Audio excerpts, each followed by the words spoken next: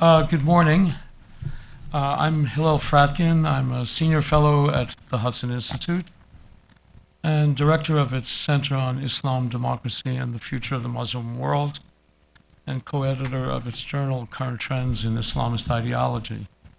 Um, I'd like to welcome you all to our conference, uh, those here and also watching on you streaming, is that correct? Okay. Um, entitled When Iran Gets the Bomb, What Will It Do? What Will Others Do? What Will Be the Cost? Um, I'd also like to thank the Singer Foundation for supporting this project. Uh, we'll have two sessions this morning, um, and I will introduce our participants in a moment. Um, but first, I should say that for today, they are not who I will say they are nor is today today, uh, June 21st, 2012. Rather, it is a day some years hence when, uh, on, the assumption, on the premise of this conference, Iran may have a small nuclear arsenal. Let me stress may. We are not prejudging that such will be the case. Uh, we're only asking the question uh, what uh, might happen if that is the case. We are here to imagine what might happen uh, what if in, uh, in a few years' time Iran has a nuclear arsenal, and in our second panel, what will happen if uh, they are joined in their region by other nuclear powers. For this purpose, we have asked our distinguished panelists to imagine themselves to be senior personnel of the different countries in the region and outside of it, personnel of, uh, of Iran uh, and other countries with which Iran may interact. But now let me introduce them as they were before this morning and will be again afterwards. Uh, first, um, and I will introduce them all in order so that we can, uh, all together so we can uh, not interrupt the flow of conversation. Uh, first, uh, Ambassador Husain Haqqani. Uh, Husain is a professor of international relations at Boston University. Until recently, he was the Pakistani ambassador to the United States. He was also formerly Pakistani ambassador to Sri Lanka. I also, on a personal note, uh, have to mention that he is um, co-founder of uh, our journal, Current Trends in Islamist Ideology. Our second uh, panelist is David Wurmser. David is founder of Delphi Global Analysis, and uh, prior to that had a distinguished career of service in the U.S. government. He was an advisor to Vice President Richard Cheney, uh, a special assistant at the State Department to John Bolton, and to round out his government service, he was um, an officer in the U.S. Navy uh, with the rank of lieutenant commander. Um, our third speaker is Samantha Ravich. she was formerly Deputy National Security Advisor to Vice President Cheney, um, is currently co chair of the National Commission for the Review of Research and Development Programs in the Intelligence Community, uh, and Senior Advisor for the Chertoff Group.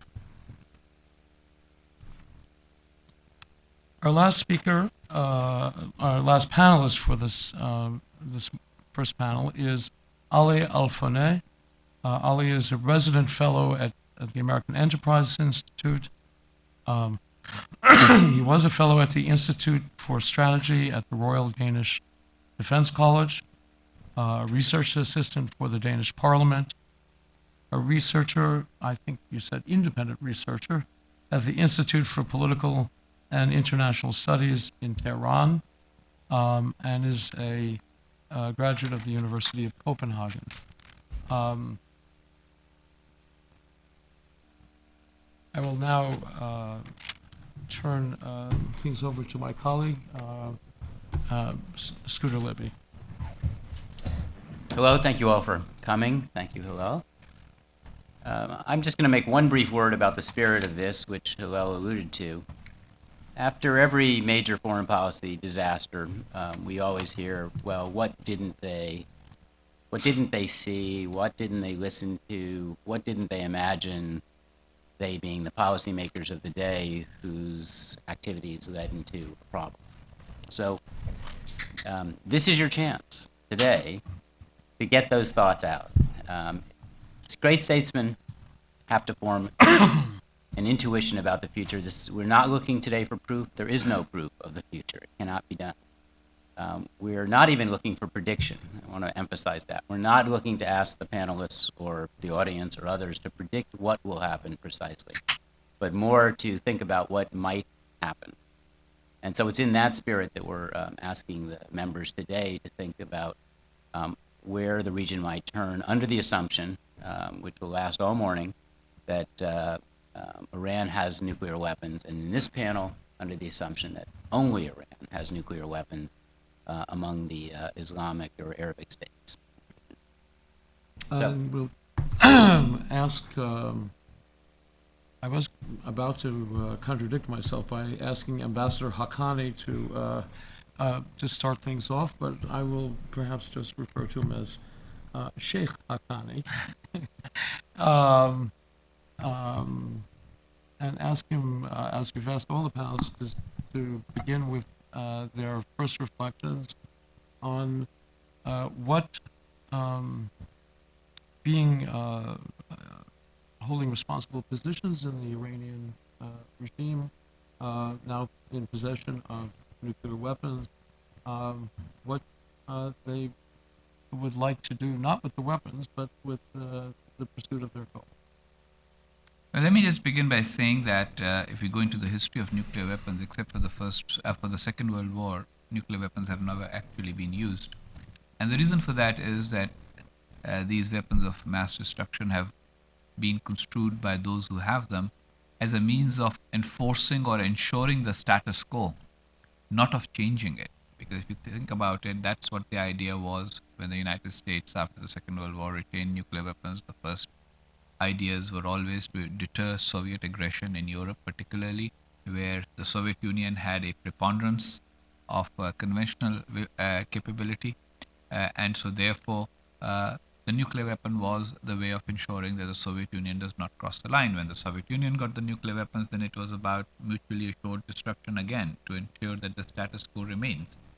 Um, then the other three members came in uh, Britain, France, and China in varying degrees, and none of them wanted to use or uh, construe nuclear weapons as a uh, instrument of changing the status quo. So I think that is something that needs to be understood at the very outset. In case of Iran, are nuclear weapons meant to uh, to keep the status quo? If it is to keep the status quo, what status quo would Iran want?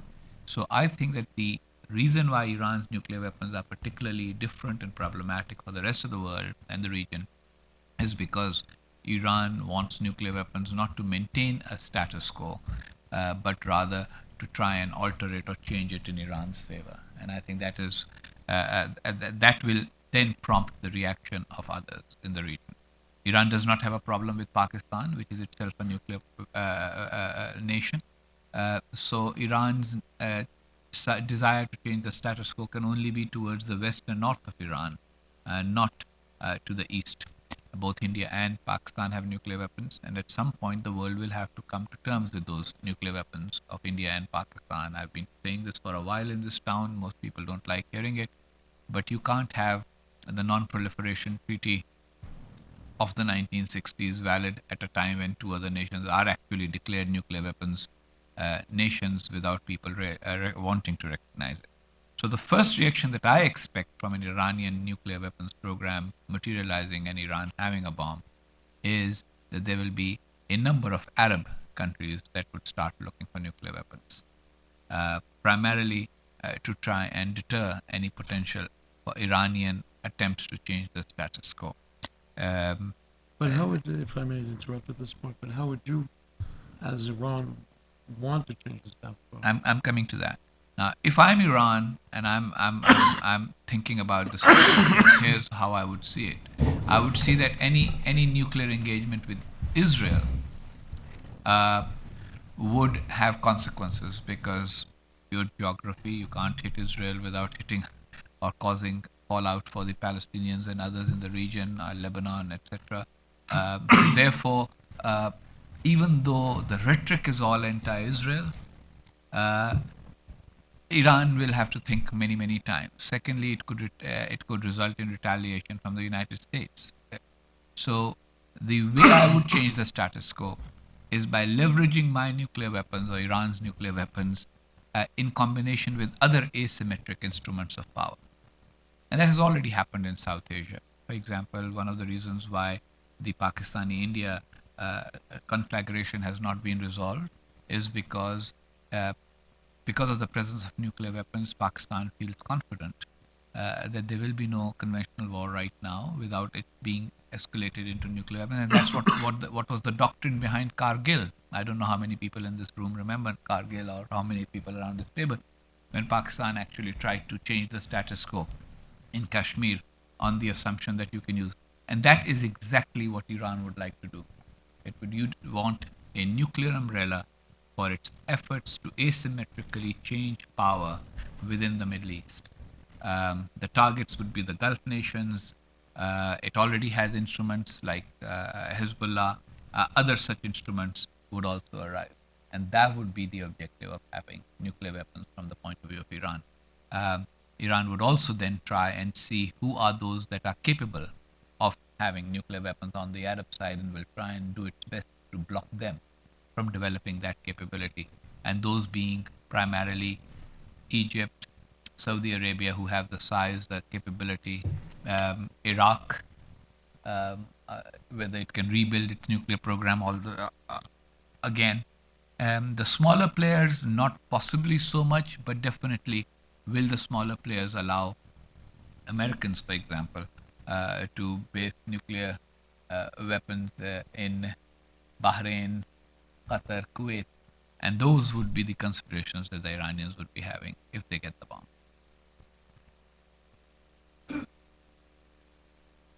Um, I, I will also address you as Sheikh.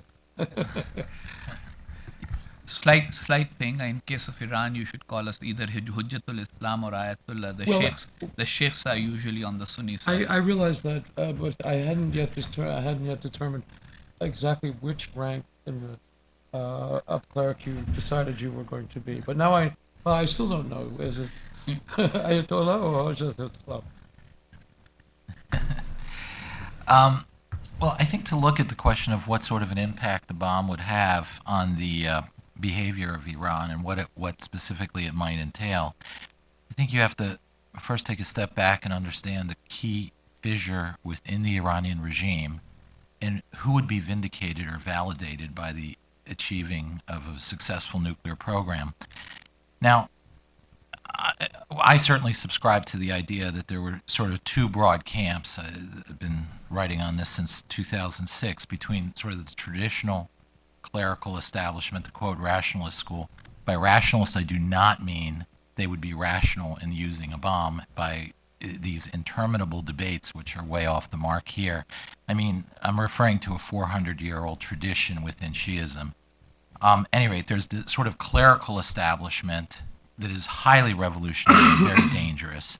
And the second is an anti clerical school. Um, it emanates ultimately from Ali Shariati, a uh, Ayatollah back in the 40s, 50s, and 60s. Um, I, I go to this because ultimately they diverge not on uh, many hardline versus moderate issues. That's that's not at all the issue. The issue is, I think, um, uh, one anchors its very existence in, in the existence of the Iranian regime to the idea of the Valiyat Faqih. It's the focal point of all legitimacy of the Iranian system. The latter tends to be more subterranean, conspiratorial. It's infiltrated, eventually gained control of the IRGC. Um, but the key here is what are the theological implications of each?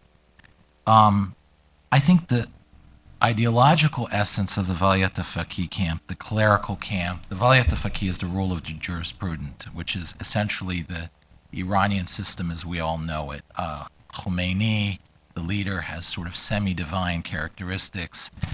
Um, basically, they believe that the 12th Imam, which went into hiding or occultation, is not coming back very soon. And there is now a mundane structure in place which can act in the Imam's name with the authority, with some degree of the spirit of the Imam, uh, until he returns, which is not expected to be anytime soon.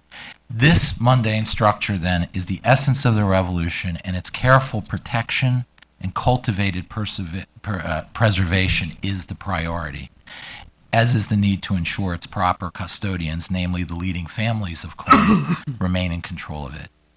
And being a revolutionary, and I emphasize revolutionary, offshoot of a traditional Shiite mode of thinking, this crowd reverts to a time tested strategy of survival and, and um, progress when threatened, maneuver and deception. Um, so it acts, incons- it acts consistent with the thousand years of Shiite tradition, a besieged community in a Sunni world operating with great maneuver and tactical cleverness. It is the Iran of Scheherazade, Thousand and One Nights, uh, and its life is the, dominated by the quest for survival and a need to keep one's head down while you're maneuvered to advance. The second crowd, the anti-clericist crowd, believes the imam is imminently about to return, and that, that it would be a big mistake to prioritize the mundane survival of this regime or, or of the Valayat Faqih and guarantee the continued custodianship of it by traditional masters. Uh, more important is the need to execute the will of Allah and prepare for the imminent return of the Imam. Any less is a failure of genuine faith. And as such, the traditional Shiite strategy of maneuver and deception is itself an admission of weakness, unconfidence, and perhaps even a lack of faith. And a frontal challenge to the West should be met, will be met with divine support because it advances the return of the Imam and the new world which will follow. So you have two very different views. I think it played out to some extent on this big debate over the nuclear fatwa that we heard over the last month or two, this ostensible fatwa uh, by, by Khomeini, uh, Khamenei, where he said you can't produce, stockpile, develop, I forgot exact wording, but essentially they can't go for a bomb. Uh, I'm not going to get into whether the fatwa exists or not. But the bottom line is there's plenty of other fatwas and so forth that indicate that, that they indeed do intend going for a bomb.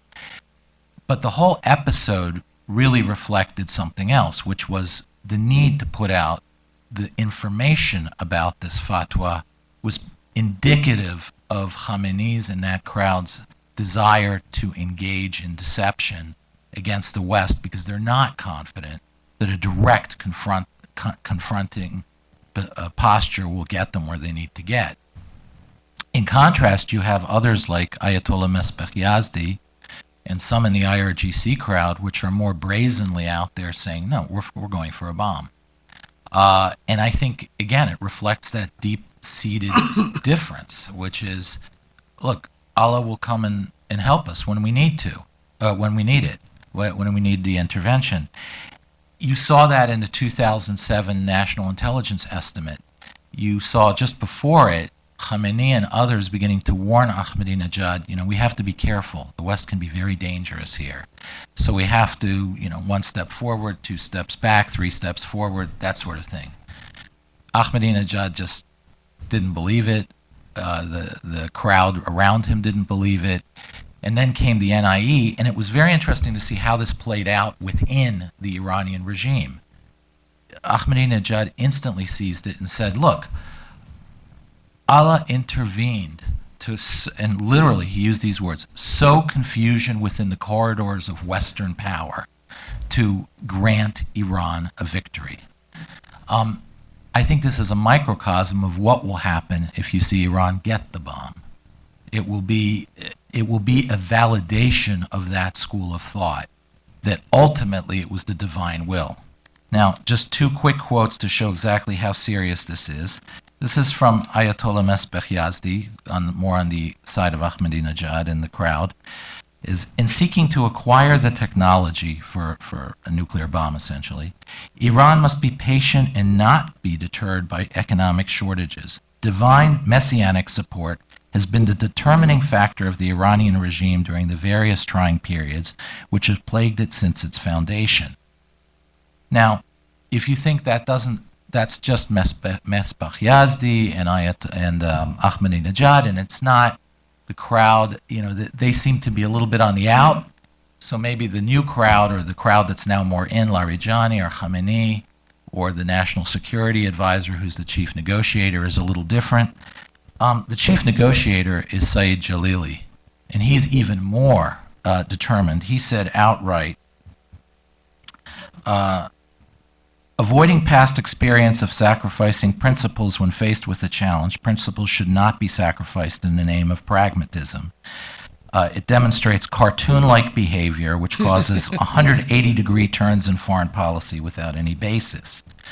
Policy should be coupled with reliance on divine assistance and should be based on a theological model which will bring a good ending in this and the next world, as was the intention of the Islamic Revolution.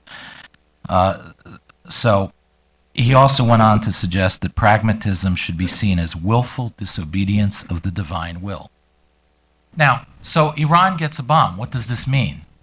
This is the crowd that takes over. This is the crowd that will seek that, that will be validated by that event. And their view is that you don't need tactical maneuver or deception.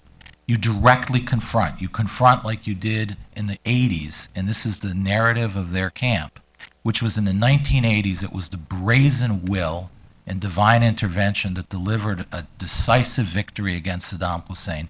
Forget about the realities of the war. This is the narrative. Um, and, and it is the clerical establishment in its timidity has consistently underestimated the divine will. And so uh, basically, I, I'm going to leave it there, but you're going to see a far more uh, incautious, less maneuvering government uh, in control of a bomb that believes in direct confrontation and then divine intervention. So, leave it there, and then we can. Samantha, or shall I say Scheherazade, since, uh, Uh, well, well, thank you. Um, I, as when when Scooter and Hillel asked me to do this, um, I I started thinking about right, not me as me, but me as uh, some Iranian official in the national security apparatus, and thinking, okay, great, now we have a, a nuclear weapon, and uh, and what a wonderful day this will be. Um, I'd be thinking about uh, the Persian Empire of what it was, because we have to think about you know, why why do we want a nuclear weapon to begin with? Right? Well, you know, as, as far back as, as the Shah, there have been dreams of, of a nuclear weapon. Um, I'd be thinking about the, the Persian Empire at its height. Right? It, and, and just, I mean, maybe you all know, but just to, to reiterate, the Persian Empire at its height included territories, obviously, in Iran, in Iraq, in what's now Pakistan and India, parts of Central Asia, Thrace, Macedonia, much of the Black Sea coast, uh, northern Saudi Arabia, Jordan, Israel, parts of Lebanon, parts of Syria, much of Egypt. This was an empire. And now, with, with this small nuclear weapons arsenal, I can envision the empire again. Um, but it's not just the Shah's dreaming that got to this day. It's also, of course, uh, what, what the Islamic uh, Republic of Iran added to this dimension um, the, the messianic and, and revolutionary forces. And I want to draw attention to the preamble to the Iran, the Islamic Republic of Iran's constitution, in which it says the Army of the Islamic Republic of Iran and the Islamic Revolutionary Guard Corps will be responsible not only for guarding and preserving the frontiers of the country, again, parenthetically, what are those frontiers? Remember the Persian Empire frontiers, but also fulfilling the ideological mission of jihad in God's way. That is, extending the sovereignty of God's law throughout the world. So here I am, I'm sitting in Iran, we now have a nuclear arsenal, I'm thinking of, of dreams past, of the extent of the empire that we once ruled, and of course, what God wants us to do, which is to extend God's law the way we see it throughout the world. And now I have a, a device to help me do it. So I'm sure we're going to talk about, you know, how how those how we begin to do that. We begin by empowering disgruntled Shia in other countries around the region. We begin by empowering disgruntled Sunni throughout the region that really look upon their leaders as, as heretics, as, as godless rulers that deserve to be overthrown. We look about being the ones that can carry the flag against the West.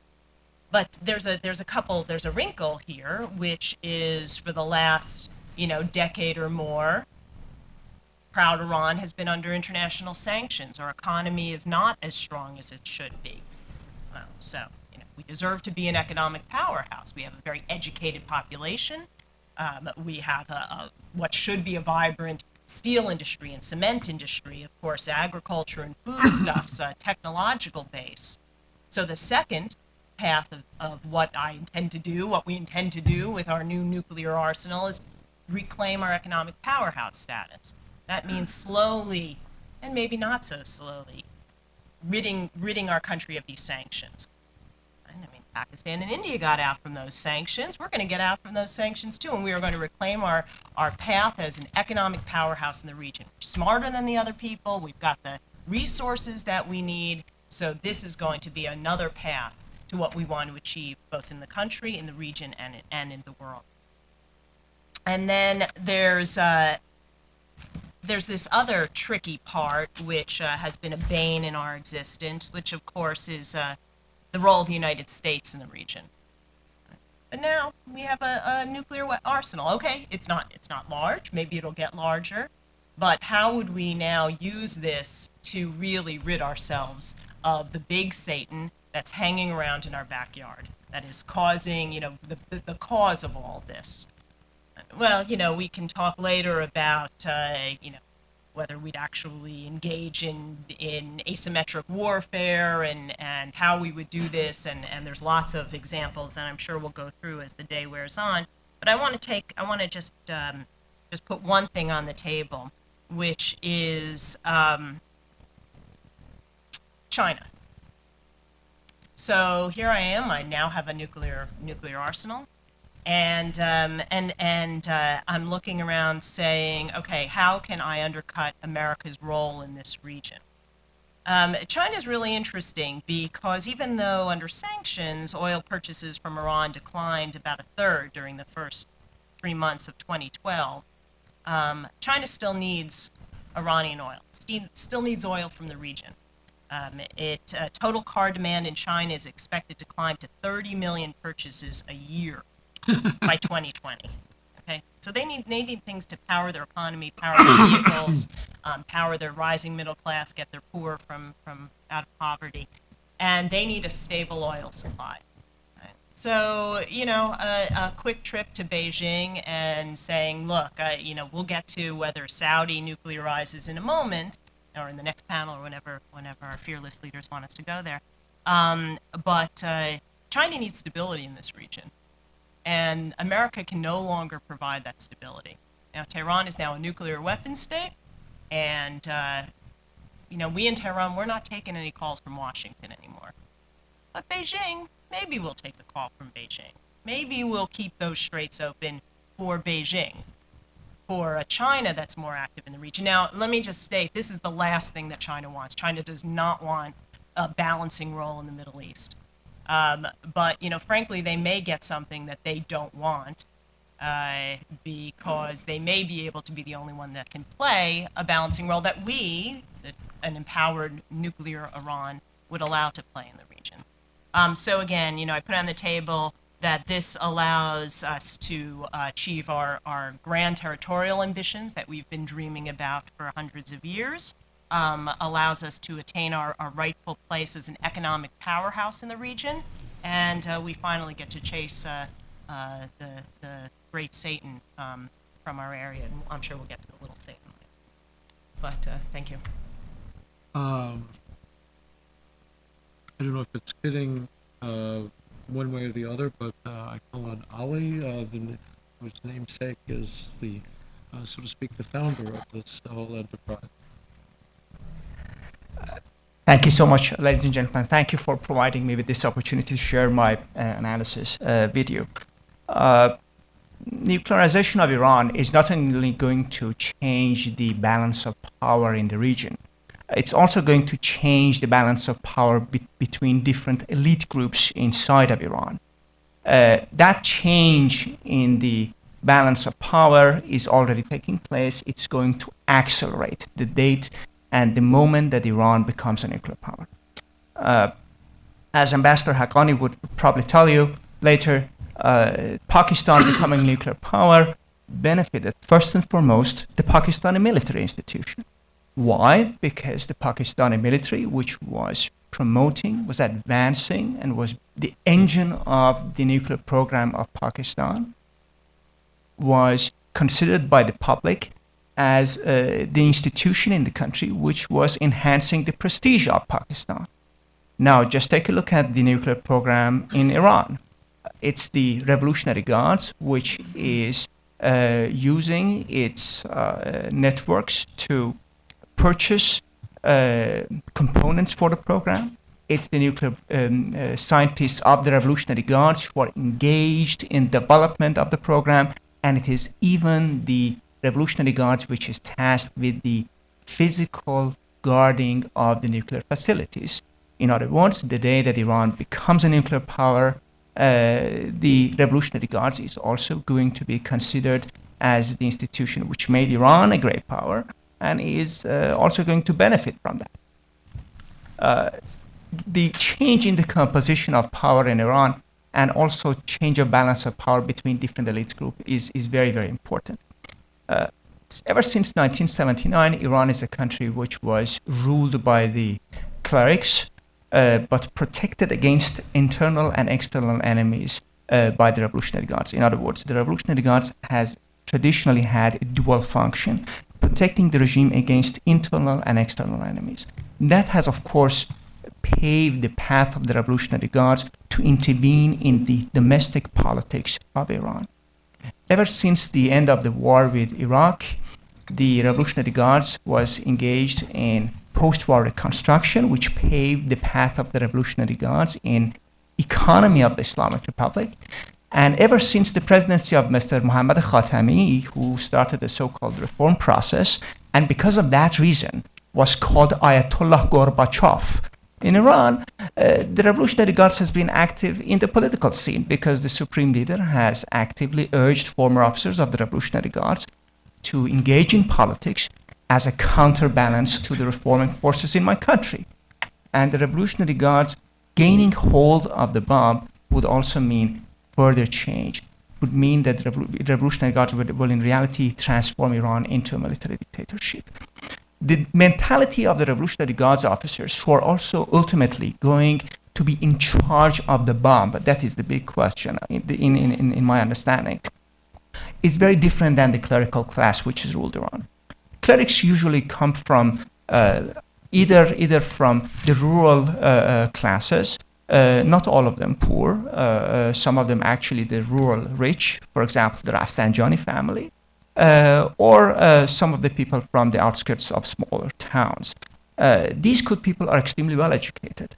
a gentleman like Mr. Rafsanjani, he used his youth traveling around the world. He traveled to the United States, to Canada, to Japan, Malaysia, Indonesia. In other words, he knew exactly how the world was functioning. And so do many, many other clerics.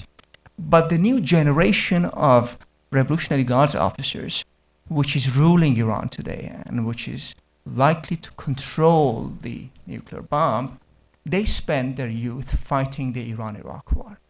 The Iran Iraq War, ladies and gentlemen, was very much like World War I in European history a trench warfare in which our soldiers lost 250,000 of their comrades. They saw their comrades coughing up their lungs, and they blamed the West for supplying Iraq with chemical devices to build those, uh, those, those chemical bombs against our soldiers.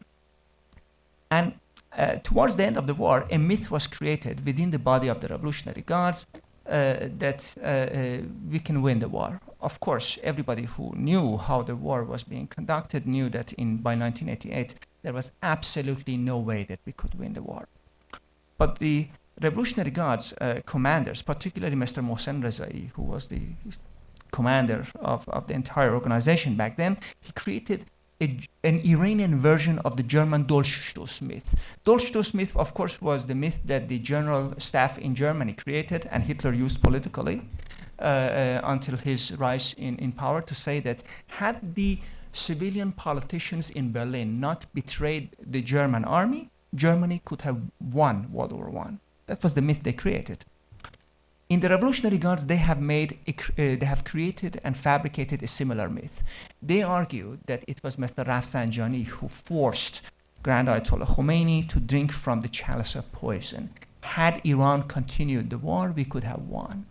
And therefore, this new generation of politicians, of decision makers, of strategists, they have a vindictive approach to politics.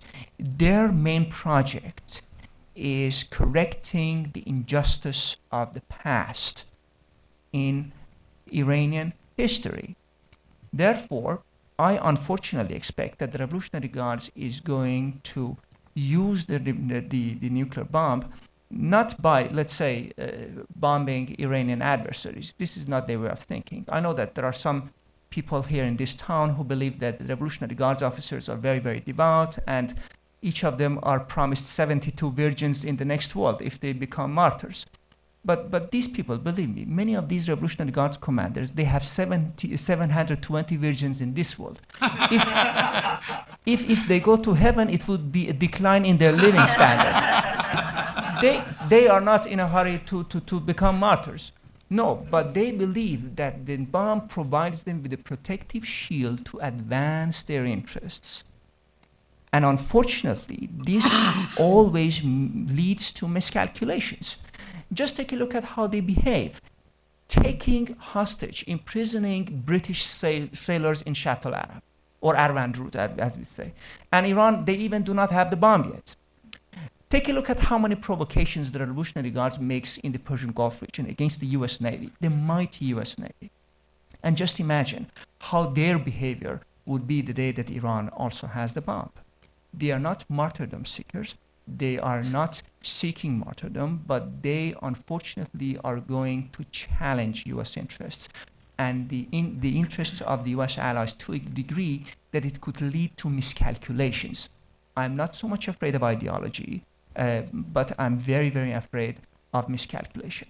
Let me also mention another actor in this region, uh, which has not been uh, mentioned Hezbollah in Lebanon.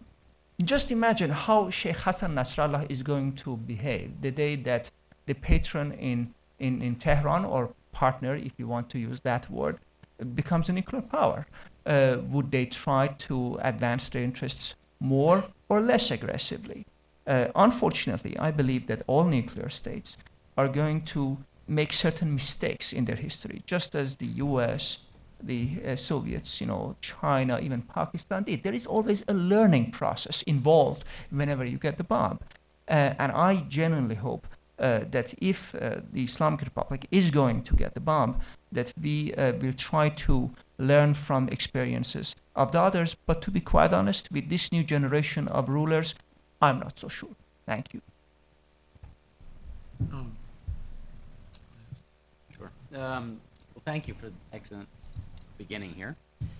Um, so now the question is whether the change agenda or whether it's um, the will of Allah or whether we're talking about restoring the Persian Empire or whether we're correcting past injustices, I think turns all of you views. What do they do next? What are the what are the different permutations that events might take? What speculate now about well, where is it they're going to apply their, efforts? Um, chronology is important for future interactions, uh, but not necessarily for your first. Yeah, I mean, I, I would just add to that the, uh, um, I mean, beginning with Husain, there was a list of, of uh, desirable objects of ambition.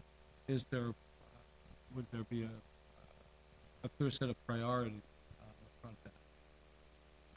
Um, actually, Ali mentioned it, and I had alluded to it without going into detail. I think the first uh, uh, line would be uh, to encourage uh, the proxies in the Arab region. Uh, uh, it's not just that Sheikh Hassan Nasrallah will feel emboldened. I think it'll be part of a strategy to embolden him further and to try and see if there can be other proxies uh, in uh, the Emirat, in Qatar, in uh, Bahrain, um, in, uh, in, in, in, in Syria, uh, and in Iraq. So I think there will be a, because now Iran has the prestige. And by the way, I think that all four of us actually converge on a number of things. You know, there is the prestige element, there is the desire, you know, whether you call it just change the status quo or uh, correct past injustices, whether it's to try and become a global and regional player, uh, which means challenging the United States and uh, and preparing for any possible retaliation from the United States by inflicting greater damage to U.S. interests in the region. All of these things are actually not mutually exclusive. So I personally feel that the first uh, immediate consequence would be to push for change in the region through proxies, which will also be the main means and instrument of trying to get out of sanctions. Because if you think about it, uh, if you if, if, if the Gulf countries start saying, "Hey guys, we are feeling more pressure from Iran because of uh, uh, because of these sanctions." Now you spoke to India, you spoke to in Pakistan, you started talking to them about changing the global nuclear uh, non-proliferation regime. Start those talks with Iran. Then the Europeans, of course, will also start uh, getting on board with that particular line because the Europeans always Europeans don't like exercising power anymore. They just like sort of finding ways to bargain their way out or write checks if they can, especially if the checks are drawn on some other bank than their own. Um, so, so, so they will start doing all of that, and uh, I am not certain about um, how China would see this development, but China wouldn't. Um, I don't know if everybody on the panel agrees, but China would not be averse uh, to a, a possible diminishing of uh, uh, U.S. influence in the Middle East, even if it does not want to be the replacing power in that region, because it knows the Chinese are, are very proud of their civilization, and one of the things 5,000 years has taught them is that there are certain regions where you don't try to bring too much change, uh, because getting involved there is going to just sort of suck your energy. Uh, so therefore, I think that's that's where they go. They go with here we are, we're a nuclear weapons power, here's our prestige, here's our pride. You will see marches in Lebanon by, um, by Hezbollah. You will even see huge demonstrations uh, uh, in, in, in, in the West Bank and in Gaza by Hamas. Uh, the Bahraini uh, sort of uh, Wifaq will be out in the streets celebrating, etc. And then, as a result of that, you will have pressures on these, some of them very, very fragile regimes, which will then say, okay, it's time to talk to Iran. They already have it. You couldn't stop them from getting it. Now talk to them, end the sanctions, let them come out, and treat them a little more uh, equally than you have done in the past. That's the first step. Others can sort of have other ideas, but they can also build up on that, on where it goes next. But there will be huge pressure on the Gulf. And we've already heard from the Saudis. I mean, Prince Turki Al Faisal keeps saying that, you know, uh, uh, Iran's going nuclear will have immediate uh, sort of consequences for what Saudi Arabia does. So whether Saudi Arabia tries to shop in the world to buy a bomb, which is what Saudi Arabia's traditional pattern is, they don't make things; they buy them. Um, and and and and then we have to see uh, what some of the other Arab regimes do. Then, one of the things we have, and none of us have spoken about, is significant changes are already taking place in the Arab Middle East. So, for example, uh, what does a Muslim Brotherhood led Egypt decide? Does it decide now? Do we go into the stage of okay, so the Iranians have it fine, now the Ummah has two bombs, or do they say, no, it's the right of each one of us? And, and, and, and does somebody in Iran sell them nuclear technology like somebody somewhere else sold Iran some technology, etc., etc. So those are the things that are going to be down the road. But the first step, if I'm the decision maker in Iran, I would say, okay, we have the bomb. Now let's tell those Bahrainis to get out of Bahrain. I mean, the Bahraini uh, ruling elite, and let's tell the uh, the Gulf region who's boss. And the proxies really become very, very active. And basically, the nuclear nuclear capability is itself a very important thing. It's a weapon of mass destruction, but it it being used as the umbrella for further asymmetric warfare to diminish the influence of Iran's rivals and also for pushing back on the United States and others in the region. That would be the way to go. So if I may follow up on this point and then ask uh, other people to respond. Um, and this was a point brought up by Scheherazade as well, the sanctions, uh, taking those off. Um, we, there would be a situation in which um, the Iranians wouldn't have to plead their own case. The, our allies in the region would say, um, you've got to remove the sanctions.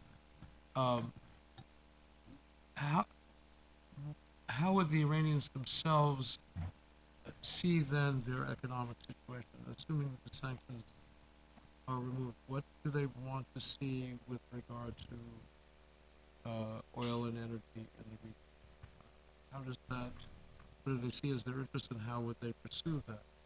Um, a lot of oil flowing, a little bit oil flowing, and so forth. If, if, if I may just say one thing on this one without going into the details, there are more uh, there are people more capable and competent in the field of economics around the table. I think that the Iranians do basically uh, they try to get a better price for oil. Um, the bottling up of the gas, because you must remember that Iran, Iran's unsold product right now is natural gas uh, product or uh, uh, resource, uh, because gas is best best sold through pipeline, and and and and uh, the sanctions have hurt the pipelines most. So they immediately sort of, you know, the Iran, Pakistan, India pipeline, which enables them to sell their gas to India. uh, uh, Iran, Turkey natural gas pipeline, which enables them to sell it to Europe. Um, uh, and then possibly uh, sort of um, gas pipelines that would allow liquefaction and then liquefied natural gas being sold uh, farther afield, depending on how the cost. That becomes an immediate thing. Then the revenue that comes from that enables the Iranians uh, to go on some kind of a shopping spree. And if I think I know the Iranian leadership, they would use it smartly. They won't use it to build palaces, uh, unlike others in the region. uh, they will, they will, they will use it to build industrial capability uh, and and and further capacity. But at the same time, going to what Ali said, it will also enhance both the prestige but also the ability to keep the population happier. Because if you can have some relaxation, forget about ending, just the relaxation of the sanctions, it gives the regime the capacity to make people happier. And that then actually perpetuates the Iranian revolution. And those in this town who, since 1979, in this town and in Los Angeles, who have dreamt of overturning the Iranian revolution, they may have to forget about that completely because that would just entrench the revolution if the revolution can actually give people bread, consumer goods, and faith, and the bomb all at the same time. What more do you want? Uh, One second, David. Um, I, I did want to say, uh, we don't have very much time for, uh, questions, uh, from you all, but, uh, we have a little bit, uh, we've passed out cards on which you can write down a question and, um, our, uh, they can be brought up here and we'll, we'll try to, uh, ask a few questions towards the end of the panel. Um, well, sort of bouncing off of what Ambassador Haqqani started with, I, I I would see three areas in which you would see a prioritization by the regime. The first one would be the owner, and I'll skip over the first two very, very, very quickly and then go to the third. The first one would be the ownership of regional Shiism. Um, eh, you know, going going back to what I, it, to really understand the spirit of this regime, I think you really have to read up on the history of the Safavids. That's the dynasty a half a millennium ago, Azeris from Erdebil, who Shiified Iran. They were originally, as I said, Azeris, uh, Sunnis, Sufis, who linked up with militarized orders and then essentially Shiified Iran as a, as a node in opposition to Istanbul. And that will define the characteristics, I think, to some extent. So you will see a crowd that is not biding time, but it will be perpetually challenging the arsenal and seat of the Sunni order, which is increasingly Turkey, but also has implications for Saudi Arabia. Then the second priority would be ownership of Islam. It is es- central to the narrative of this regime that Islam was robbed from the Shiites, the proper custodians of Islam, millennium ago. And its decline and its despotism is deeply anchored to this robbery. It's malaise, the malaise of Islam, and it's being uh, removed from leadership above the West is anchored to this, this robbery.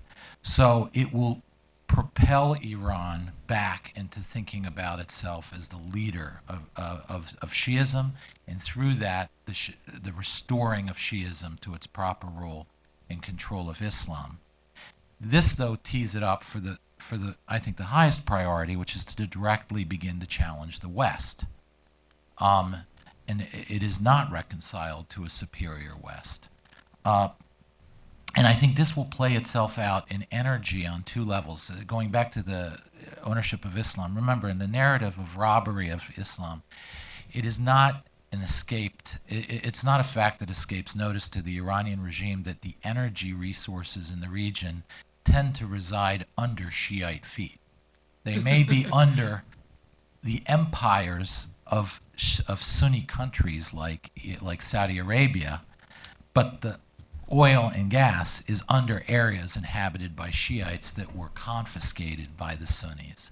And that therefore this inheritance given to them by Allah is again being robbed, like Islam itself. So there would be, I think, a, a fairly strong move to bring, at least Finlandize, countries in which Shiites exist and have oil resources, maybe Iraq, for example, but but also to challenge countries like Saudi Arabia and the Shiite control of of, of uh, the control of the Shiite areas. But the energy also, I think, has another thing, which is if you go back and see how the Iranians read the West right now, and say, listen, the United States, like in the last remake of Beau Geste, keeps putting down these red lines of what they will not tolerate on the nuclear program.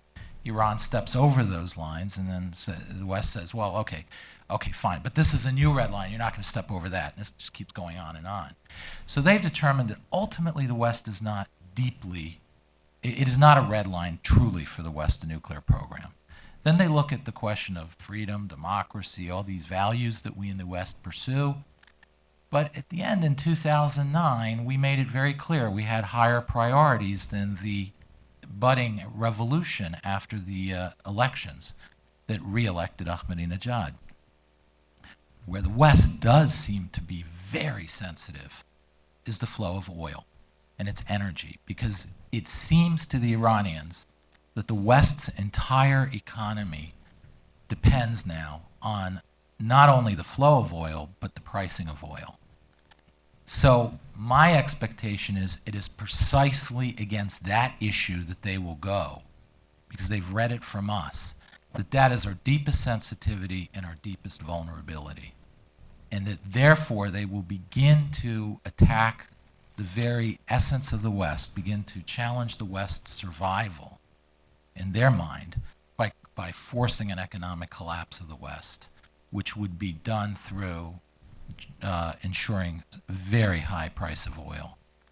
Um, so I would expect those three priorities to sort of commence uh, the, the Iranian sort of emboldened state. So, so if I may uh, restate that, it seems like the, the focus on the energy issue was a twofer.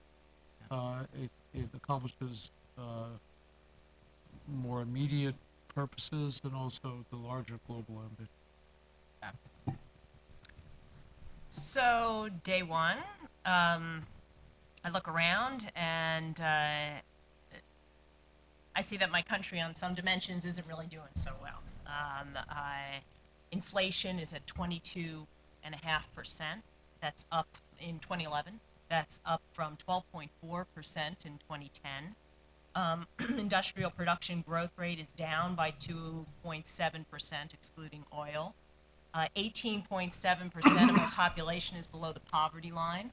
You know, I read the I read the papers. I know that some Tunisian, you know, fruit vendor lit himself on fire, not just because he wanted freedom, but because he couldn't, you know, he couldn't get a permit. He couldn't operate his his fruit stand. I mean, there was an economic dimension to all of this too.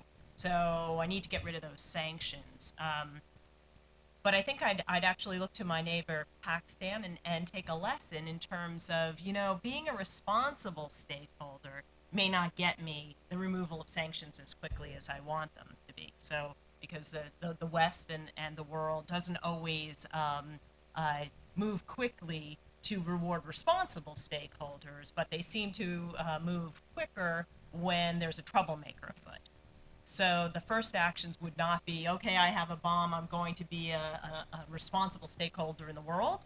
It's, I have a bomb and things can get really ugly really quickly, so you better give me what I want. So troubles start to occur in, in the region and beyond. Things may go boom, uh, people get scared, and I get, I get what I want. Um, but what do I do with this? And again, I'll, I want to go back to, uh, to the Iranian constitution, um, which says that the economy is a means, quote, and all that is required of a means is that it should be an efficient factor contributing to the attainment of the ultimate goal.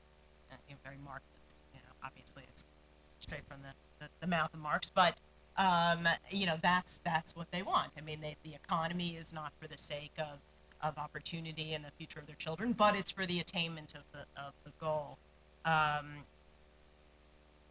let me just kind of step out from this for a second. I don't think, frankly, that'll work. I mean, again, looking to the lessons of Pakistan, I don't think they're very good lessons.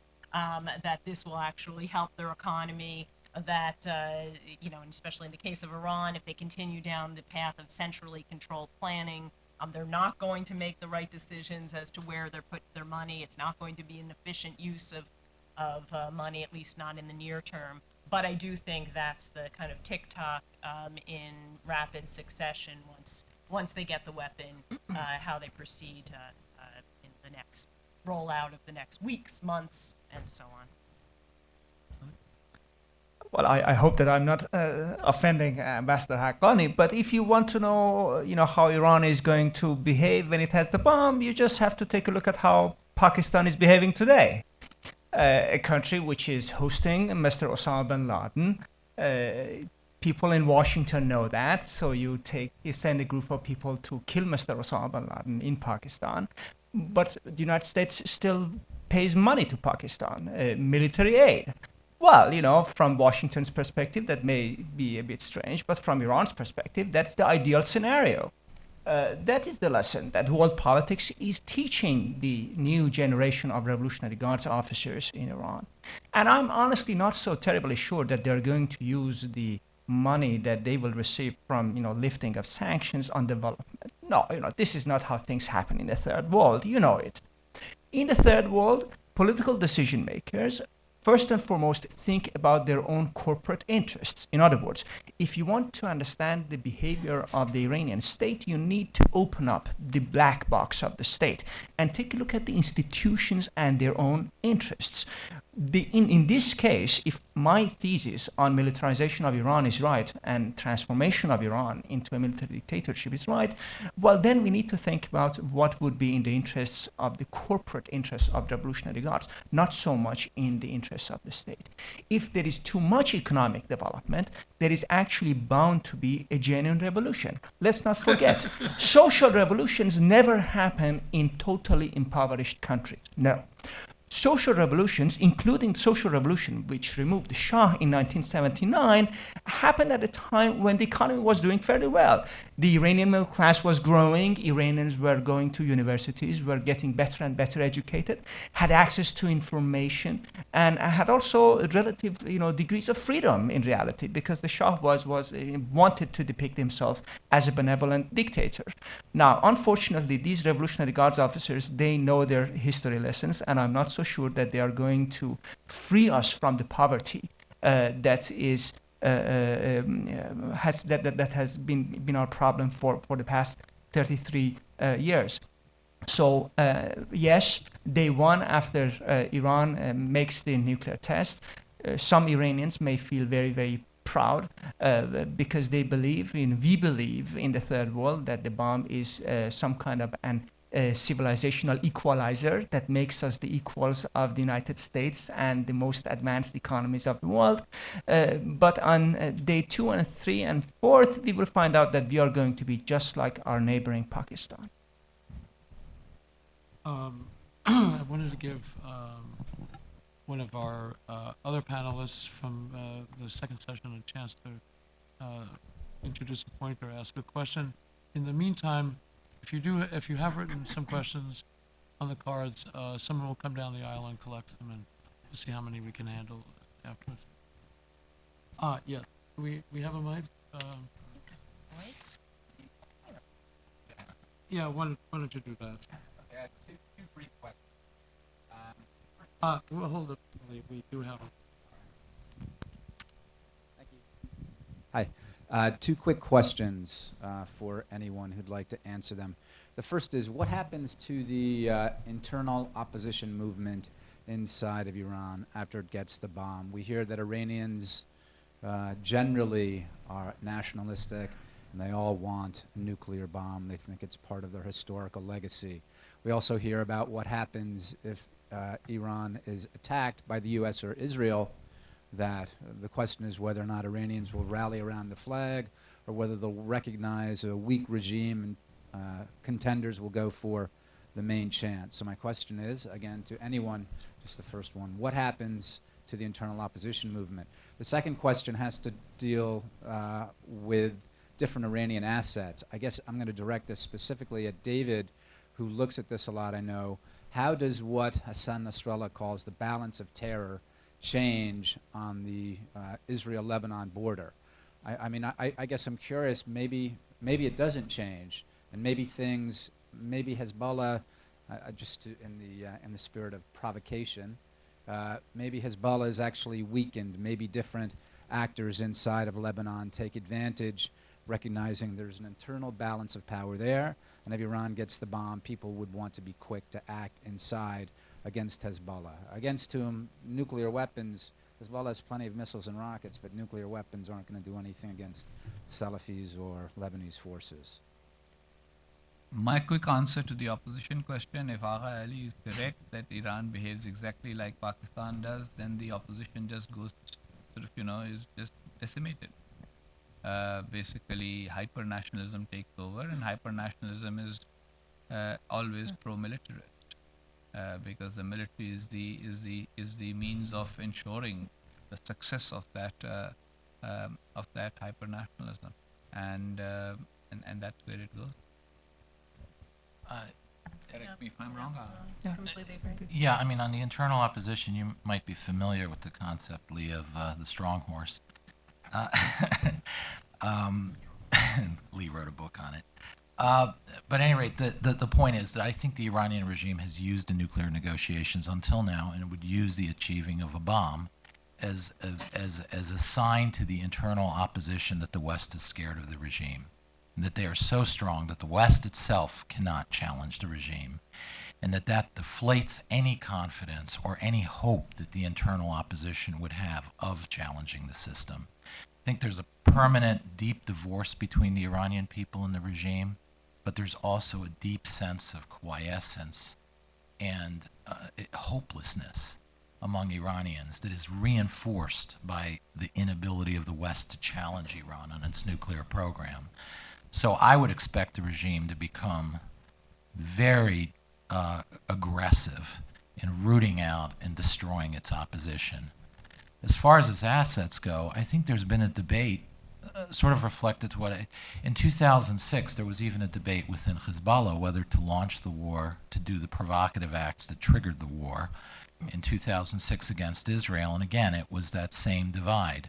You know, better watch out. Those Israelis can be very dangerous. They can really do a big number on on Hezbollah uh, and they they, uh, they argued for caution. And um, there was another crowd that said, "Listen, you guys in a Lebanese context are sunk. You, you you're not going to redeem yourself in the post 2005 environment through actions that you can do to directly redeem yourself. Iran, in its rise in the region, is the mechanism through which you in Lebanon will be redeemed. So jump, you know, throw throw yourselves on the sword and help deliver Iran a victory. And that translated into a very aggressive policy that, again, was reflective of the divisions within Tehran that we've outlined already. So, what I would expect with the bomb is to see Hezbollah become, again, far more aggressive. Uh, and uh, uh, it would validate that crowd that says take chances. No, I I don't have anything really to add to that. may I just say that Hezbollah has already become emboldened. Uh, as a matter of fact, nowadays it's the Revolutionary Guards which is trying to calm down Hezbollah. Uh, we had a rare glimpse into this as the Iranian press, uh, by mistake, published an interview uh, made by um, Major General uh, Qasem Soleimani, chief of the Quds Force of the Revolutionary Guards, who uh, talked about a, a phone conversation he had with Sheikh Hassan Nasrallah in which uh, Mr. Soleimani urged um, Mr. Nasrallah uh, to remove anyone from positions of responsibility who believes in preemptive action against Israel. Uh, because, you know, uh, presumably the Islamic Republic expects and, and fears that Israel would use uh, any pretext uh, to launch missile attacks against Iran's nuclear facilities and the provocative rhetoric that Mr. Uh, Nasrallah is making in his weekly speeches could fuel that uh, uh, pretext. So um, let's see if we could talk for a second about Iran has ratcheted up pressure under your scenarios in Shia areas around Iran and other areas around Iran. What could happen? Uh, what might happen next? I mean, what, which of those areas might succumb to it, or with their own internal pressures are, are subjected to it? Think of Bahrain, you think of Iraq, Shia portion of Iraq, you think of the eastern part of Saudi Arabia. Um, we could speculate on how events might move from. Well, I, let me just just throw one thing on the table. I mean, clearly, you know, the, Bahrain would would heat up even more so. You know, whether or not right now, whether it's uh, you know that the Shia in Bahrain have legitimate, obviously legitimate grievances um, there is a disgruntled population there, and what's happened, you know, since they began protesting is, is ripe for for uh, uh, you know Iran to sow a lot of mischief in that area. Um, but if it comes as well at the same time that things are heating up on the eastern, you know, provinces of Saudi Arabia, Saudi Arabia has now got to look internally. I mean, you know, what they've done over the last couple of months, they didn't really have to think about big big problems on their home territory. Now they actually also have to think about that. Um, so, you know, opening up a lot of these fronts is, would seem to be the way to get uh, people to start crying uncle, and, and these aren't the bravest of, of forces in the region anyway, um, uh, would seem to be the first thing that goes. So, multiple, many, many areas, many, many problems, many, many, you know, conflagrations beginning.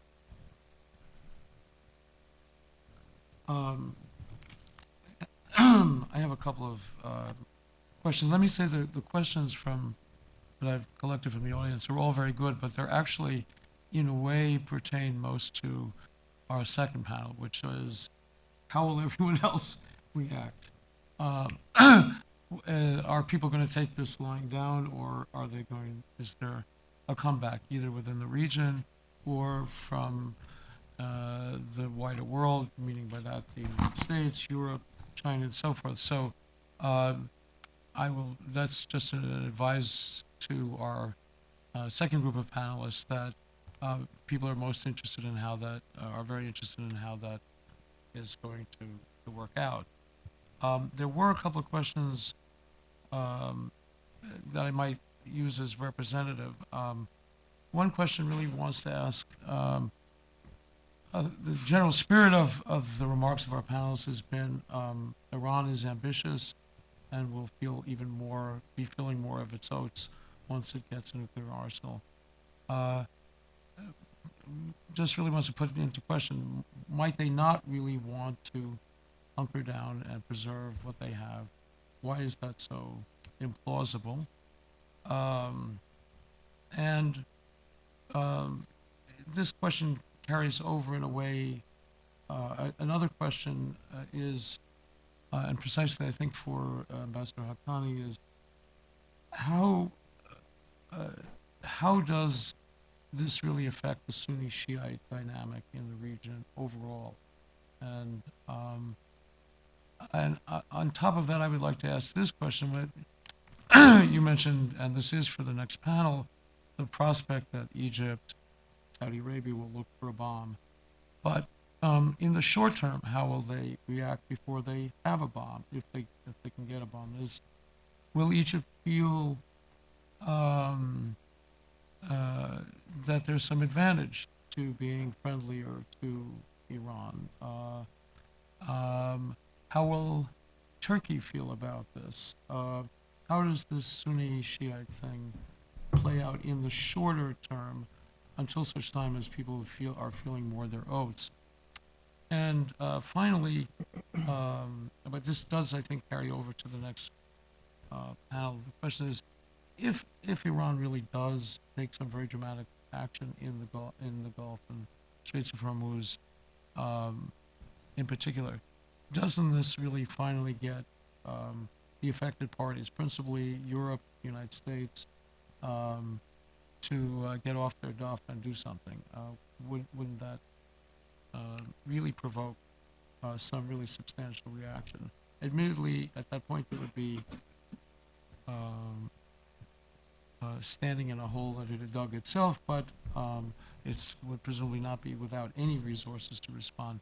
But I think that does really belong to to our uh, our second panel. So uh, why don't you see what makes sense to I think I'll leave say about that, and then we'll take a coffee break and then come back. Well, concerning the issue of Iran being a revisionist power or a status quo power, uh, uh unfortunately, there is, a, a, I would say, a thinking, a, a national security doctrine within the Revolutionary Guards, and that was in that national security doctrine was reached during uh, Mr. Mohammad Montazeri, one of the uh, founders of the Revolutionary Guards, and by the way, the first head of the in the, the liberation movement's unit of the Revolutionary Guards. After that, we see people like Mr. Mehdi Hashemi and even today, um, um, Major General uh, Qasem Soleimani. They fundamentally believe that in order to avoid having foreign powers attacking Iran, uh, Iran needs to keep them busy somewhere else. In other words, by creating proxies and helping them and creating regional conflicts, let's say in Lebanon, Israel would not be able of attacking mainland Iran. That is, you know, the fundamental thinking.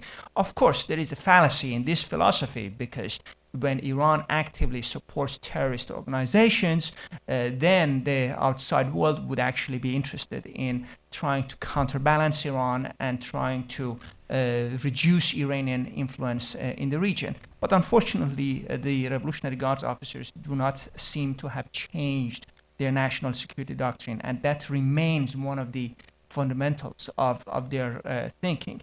Now, the second part of this issue is if uh, uh, non-Iranian Shia are willing to be a part, to play a part in this scheme of the Revolutionary Guard. Um, and the answer to this is a bit complex. Uh, I have to say this. Uh, the non-Iranian Shia are not agents of the regime in the Islamic Republic of Iran. No, not at all. They are good and decent citizens living in their own countries. But most unfortunately, in many of those countries, even the basic rights of the Shia people are not respected. In Saudi Arabia, what does it mean? When the state sends bulldozers to bulldoze and demolish mosques, Shia mosques in the eastern province, when there are so many political prisoners among the Shia, when the Shia do not have access uh, equal access to wealth of Saudi Arabia, the same way that the Sunni majority has. That, of course, creates a lot of grievances that opens the path to infiltration and abuse, political instrumental use of the, of, of the Revolutionary Guards and the Islamic Republic of the Shia populations. the same thing also goes for Bahrain. Uh, I was in Bahrain and I have to tell you this. The Bahraini Shia are good and decent Bahraini citizens. They are not agents of the Islamic Republic. But when they feel abandoned by their own government, when they feel that the parliament has no real political power, that their representatives cannot affect day to day politics of the Bahraini Shia community, when they see that the police force is increasingly dominated by people who are naturalized Bahraini citizens, people who are imported from Sunni countries, particularly Iraq, to even even some in, in some cases from Pakistan or Jordan. Pakistani police officers who do not even speak Arabic are asked to suppress the Bahraini Shia. Of course, that creates grievances because you end up feeling like a foreigner in your own country. Now, take a look at Bahrain. The, the conflict is unfortunately very, very fast spreading to neighboring countries, both to Saudi Arabia, but unfortunately, and that may be new to you, but also to some degree to Kuwait. The Kuwaiti government is much more sophisticated in its dealings with the Shia population, far more sophisticated. They have been dealing much better with the Shia population, and they have not had the type of problems that we are witnessing in Bahrain or Saudi Arabia. But because of the problems inside of Bahrain, even they in Kuwait, in sophisticated Kuwait, they are you know experiencing problems. In other words, Iran has the bomb or has not the bomb if the, the Sunni rulers in the Persian Gulf region actually treat their own Shia populations in a good and decent way, there is absolutely no way that the Revolutionary Guards or, or the Islamic Republic or any other foreign power can use them instrumentally to advance their own interests. And one of the things that I always tell the uh, Shia political activists in, in the Persian Gulf region is that the Islamic Republic does not really care about you they care about their own interests. It is not that they care about the Shia. Just take a look at how they are treating Shia Grand Ayatollahs inside of Iran. Grand Ayatollah Montazeri under house arrest until he died. Grand Ayatollah Shirazi, who has many, many followers in the Persian Gulf region, he died under house arrest. The the institution of the Maraje, you know, Shia sources of emulation, is being increasingly controlled by the state. If we Iranians are lucky, there is going to be a, a stability in Iraq where independent centers of knowledge in Najaf are going to become hermitages for our grand ayatollahs who become political refugees in Najaf and who can speak freely because Iran is not a free country for Shia political development. So, so, so the, the, uh, even, even forgetting the nuclear issue, uh, the, the matter of Iran abusing Shia populations can be solved very, very simply by treating the Shia citizens in, outside of Iran in a decent way. Um, I'm going to ask uh, uh, David and Samantha to make some final comments. Um, Husain has another shot uh, in, in, the second panel, so. Um, okay. Um, so uh, quickly, one I want to actually reiterate, uh, you know, some of what I just said. I, I uh, was in UAE and Kuwait last week, um, and I was was talking to some government officials there, and we were talking about Syria, obviously Iran.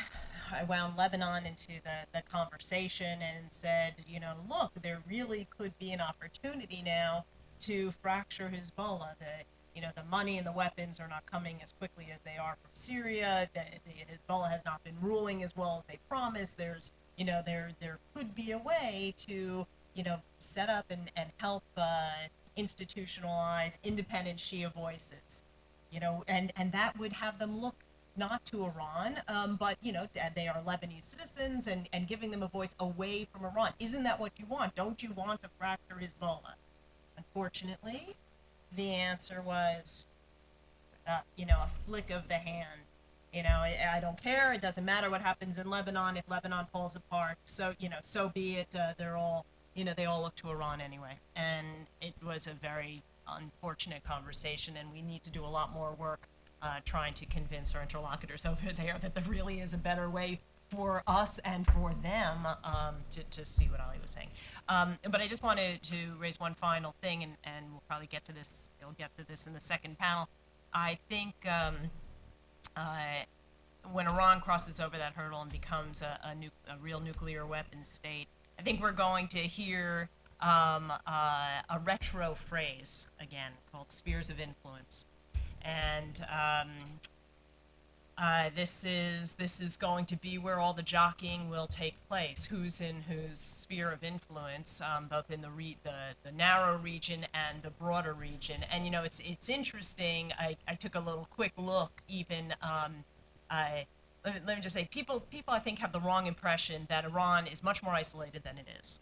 Okay, I mean, it is still reaching out and being welcomed around the world. Delegations are reaching out, delegations are going around the world. In the last 10 days, the Iranian Chamber of Commerce um, visited Vietnam, uh, welcomed with open arms, Tbilisi, Georgia, and Tanzania.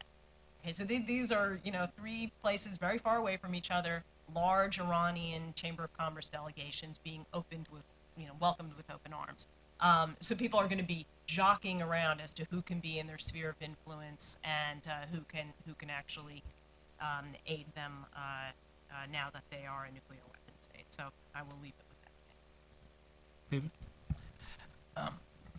Yeah, in terms of going out on a limb, I, I, I think that thinking through strategically in the next 5, 10, 15 years, um, I think there's a reasonable argument that can be made that the Islamic awakening, which the Iranians call the Arab Spring, or the Arab Spring as we call it, could go in a very bad direction, and that we may see ourselves having a problem with several centers of Sunni power. And in that context, the perpetu- the continuation of the conflict with Iran puts us in an extremely difficult position, and yet we can't get beyond it until you get beyond the Iranian regime. The achieving of a nuclear weapon, I think, secures the Iranian regime a second life in the long term. And that makes our strategic position as we're heading into a situation of difficulty in managing our relations with the Sunni world. I think it puts us in an impossible situation. And it, and it prevents us from having a, a Shiite strategy where we actually somehow bring the Shiite world along into a different place, something that Ali's talking about. And second of all, uh, we'll leave it to the second panel to deal with the nuclearization of, say, Saudi Arabia, but, but think about the legitimacy of the Saudi regime if the control of Islam is unchallenged here. They will have to retreat into what they know best to establish their legitimacy. And they will owe nothing to the West in their mind. And you will see them not behaving on issues like Al Qaeda and the larger world of Wahhabi or Salafi movements that they will need to begin to rely on much more strongly to reassert their legitimacy in this uh, Sunni, you know, excited Sunni state. So I would see that to be a really awful scenario for the West, where we're still in conflict with the Shiite world and we're entering a period of radical challenge from the Sunni world.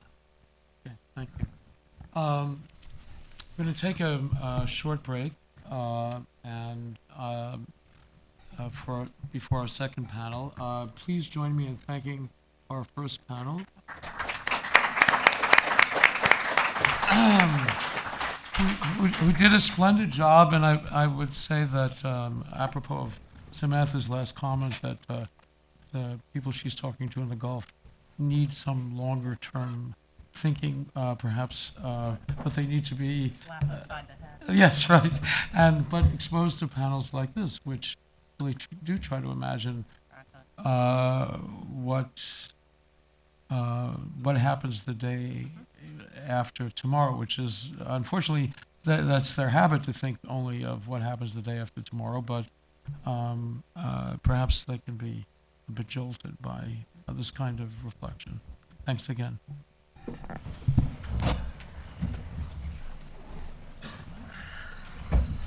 Yeah, It's really